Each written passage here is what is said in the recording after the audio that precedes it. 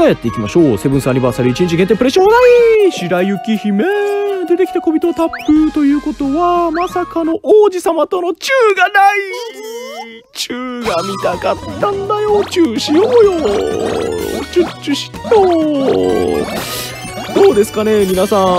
ディズニーランドの白雪姫のアトラクションって乗ったことあります？あれ結構怖いっすよね。最後さ、オチ言わないけどさ、結構怖いっすよ。もう、当時彼女だった妻にね、もう抱きついたっていうことはないんですけど、ないんかーい。ま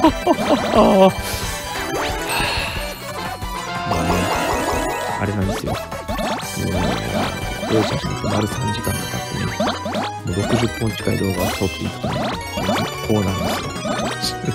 連続撮りですよ、連続撮り。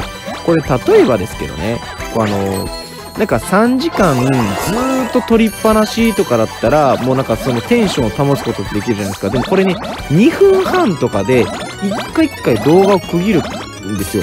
で、休憩をする間もなくいってるから、なんていうんですかね、テンションも変わってくるし、間も難しいしっていうところで、なかなかどうして、こう、むずいんですかね。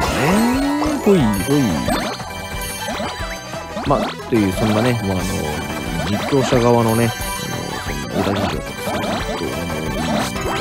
要はこれを見てくれたらみんながね、楽しいな、なんか面白そうだな、僕もつむつむやってみようかな、私も新しいつむつむ欲しいと思って一生懸命ね、頑張ってね、プレイしてくれるっていう、そんな人が一人でも増えてくれたら、もうそれがもう僕にとっては、もう何よりもですね、もうよくやっててよかったなっていうところですから、はい。でね、一つ問題があるんですよ。